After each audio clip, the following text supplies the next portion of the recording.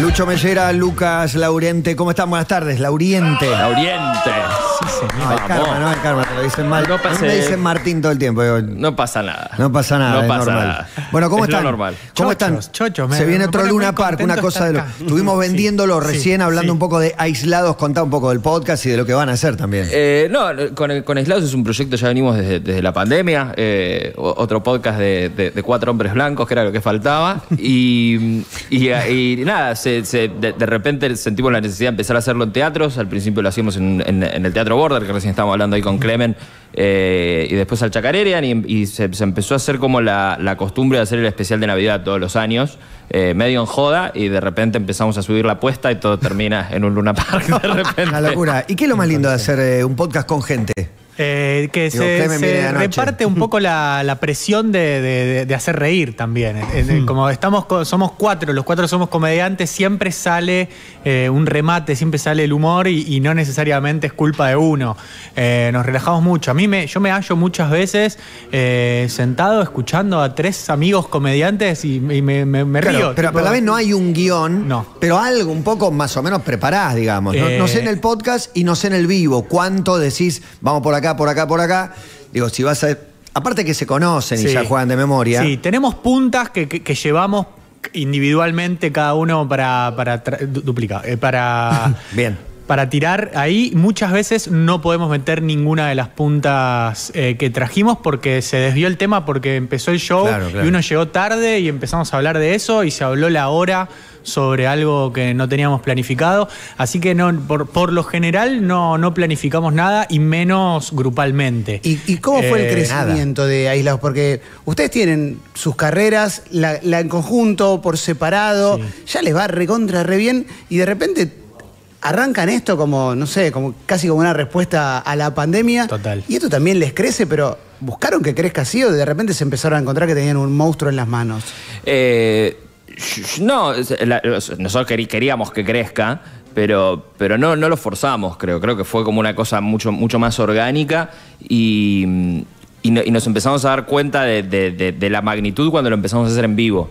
Cuando, cuando empezás a ver la respuesta de la gente ahí. Eh, eh, a ustedes, bueno, que hacen radio hace añares, le- les, debe pasar que, que son la compañía de, de- de la gente. Y eso es algo que nosotros, como comediantes, por ahí no teníamos tanto. La gente por ahí te va a ver al teatro o te ve, te ve no, no sé, en YouTube a la, a la noche, no es que está laburando o haciendo algo y escuchándote. Entonces nos encontramos en un lugar como nuevo, en el lugar de, ser compañía de la Algo gente. que, que explica muy bien eso, un, un ejemplo de eso, una chica una vez nos dijo eh, que estaba hablando con, uno, con unas amigas Sí. y salió un tema y les dijo a las amigas, este tema lo estaba hablando el otro día con unos amigos y dijimos tal cosa. Y nos cuenta, y después me di cuenta que no lo estaba con- hablando con unos amigos, sino que lo estaban hablando ustedes en el podcast y yo me, me siento parte. Y muchas veces nos dicen, me siento como en mi grupo de amigos, pero ese ejemplo me pareció piola. A ella le quedó en la cabeza que lo estaba charlando con nosotros. Eso es como un ejemplo Y es la extremo de magia más linda de la charla, de la, de la radio, que se traslada al podcast o al espectáculo. Sí, es radio. Lo más lindo. Para mí es radio. Es radio. El podcast es una sección, es un Sí. momento, digo, es un stream. Da- ya da lo mismo cómo se llama el ¿Y- formato. y ¿Cómo cual. cambia hacerlo con una tribuna de gente? Porque viste que si estás con tus tres amigos, estás ahí charlando y es un núcleo, estás en el cono del silencio, ¿viste? No, no tenés la respuesta inmediata. Pero de, repente con, con público, ¿cómo, Algunos cómo se engolosina por ahí. La risa es una droga, Y ¿no? sobre todo para el comediante, que, que- que o sea, nosotros no es que hacíamos otra cosa de- de- del medio antes, todos na- los cuatro nacimos como comediantes, entonces nos acostumbramos a, a esa dinámica de que decís algo y esperás una respuesta. Tal vez al estar los cuatro nos faltaba eso, pero el desafío fue porque hacíamos teatros cada tanto antes y lo hacíamos mirando hacia el público. Cuatro banquetas mirando hacia el público. El desafío era encontrar un, intermedio entre que haya un público, pero que sea testigo de una charla. No es la charla para ellos, sino es nosotros cuatro mirándonos entre nosotros como ahora, charlando, conectados entre nosotros y el público de testigo. Y encontramos eso, ese equilibrio y, y es, es eso lo que buscábamos. Sí, sí, no, y eso, la- la- si bien la risa funciona para retroalimentar, tratamos de que no sea el, el- el motor de lo que estamos haciendo. Tratamos de que, de que de que esa, esa misma dinámica que teníamos en el, en el estudio cuando lo hacíamos sin, sin gente, que se replique en el teatro. Es lo, lo que dice tal cual mi compañero acá. En, en mi lucha con el algoritmo, voy perdiendo para mí, pero tengo fe en que la, que la voy a dar vuelta. Siempre veo en pedacitos de, de stand-up, sobre todo. La pregunta es si es buscado o si es, es mi algoritmo o se viraliza más la interacción con alguien del público.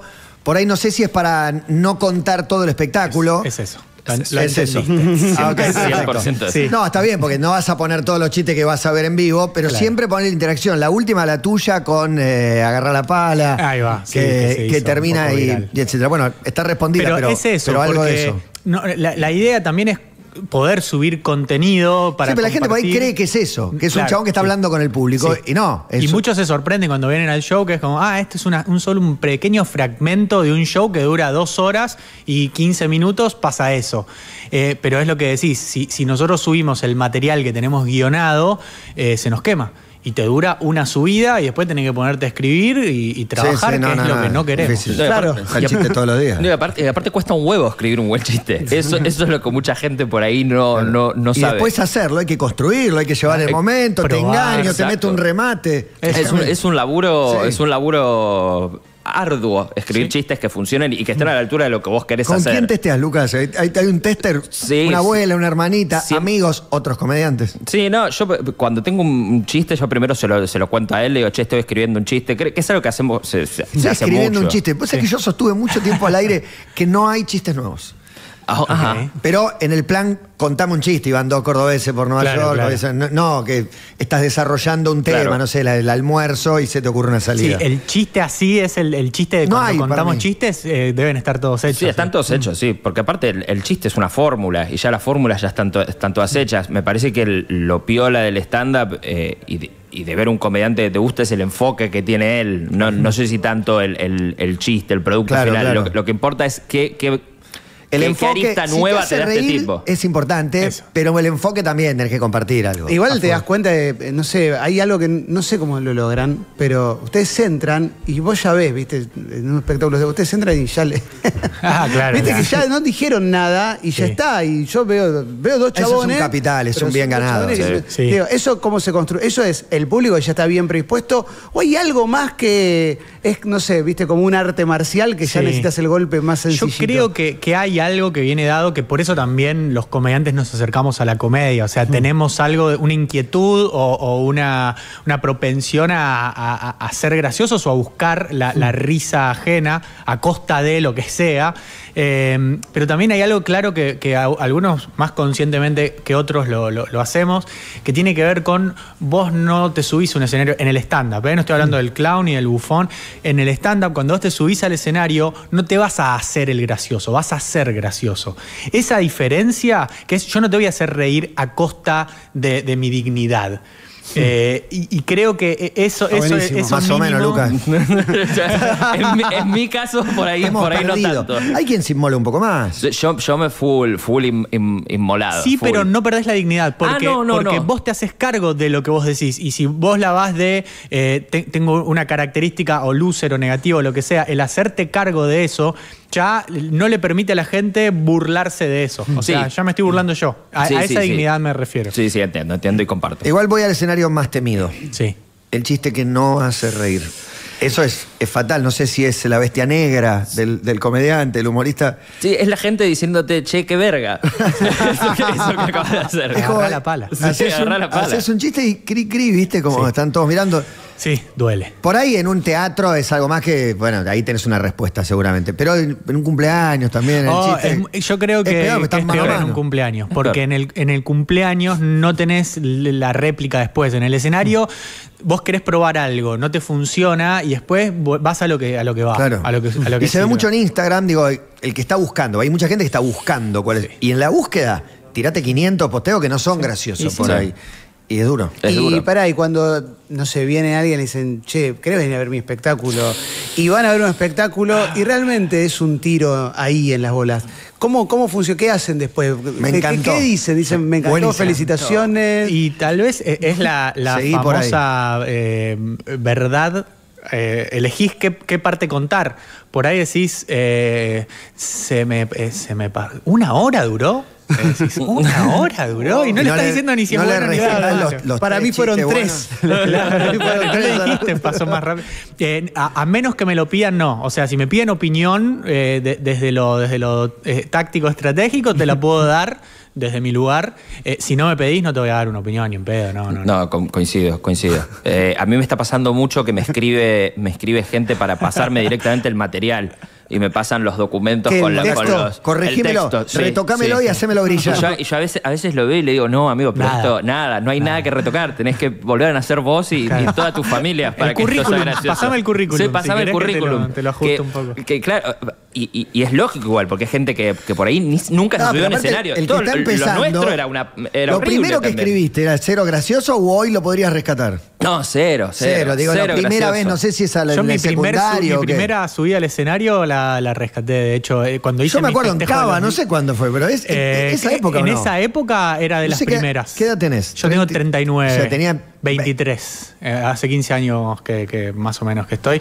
Eh, y lo del principio, cuando cumplí 10 años de stand-up, hice como un raconto de todos los momentos y agarré chistes del principio y re- Andaban. resistieron. Riéndote sí, más de vos mismo, rescatando esta parte estaba bien. Eh, agarré lo que, lo, que, lo que valía. se podía rescatar y había, había cosas divertidas. sí. Sí, ¿se acabó la gente que se ofende o dejó de importar esa gente? Eh, Nunca importó, me parece. No, pero, ¿viste? Había gente No, que no, importaba. No, Había o sea, gente sí, que a la sí. que le importaba. momento que el miedo a que viene una horda a cancelarme, me. Cagan a palos en la puerta del teatro, Ah, estaba sí. latente. Decís, puede pasar, ¿viste? Sí, estaba Ahora latente. ya no. Creo que nosotros igual nunca fuimos unos comediantes súper super edgy, entonces Claro, como que claro. me parece que nunca tuvimos como ese, ese problema. Pero, pero se metían con algo muy trash. Pero hoy te pueden escrachar si sos demasiado políticamente correcto. ¿no?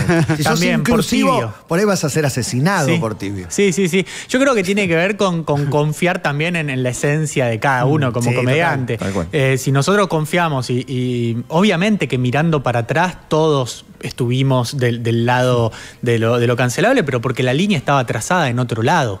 O sea, hay que medir con la línea de hoy. O sea, sí, Sí, claro, claro. antes, de, en los 90, reírse de un, de un gordo o de un gay eh, era, era lo, lo- lo- que hacían todos. Mm. Entonces, la verdad es que ver si un comediante dijo algo en esa época sobre al- a- alguien, nada. Pero hoy no, no, no, no lo diríamos y mucha gente ya no lo dice. Pero eso de no se puede hacer chiste con nada es de cagón, de tibio. Eh, Se puede hacer chiste con todo. Hoy- Excelente, Hoy, se puede excelente. hacer chiste banco, con banco a muerte. full, a ¿Y full. de qué Todo, depende? ¿De qué te bueno? Sí, Si- que el chiste si te hizo reír, pero si no te hace reír. Eso, eso es lo y que no te le gusta a metiste con un tema medio sagrado. Sí. y ¿No bueno. saben lo que le molesta a la gente que un comediante no lo haga reír? Tipo, Sí. es, está al mismo nivel de, de- de que te metiste con una minoría. A mí, me, a mí me pone mal que un comediante no me haga reír. Me pone mal Pero también por el comediante. ¿eh? no No, me Pero enojo, no me recibiste enojo. enojos Pero, o enojos. Andá, andá vos no te tenés que dedicar a esto, andá a laburar, y, eh, morite. Ah, sí, es terrible. Boludo, nada más que no te dice reír. Sí,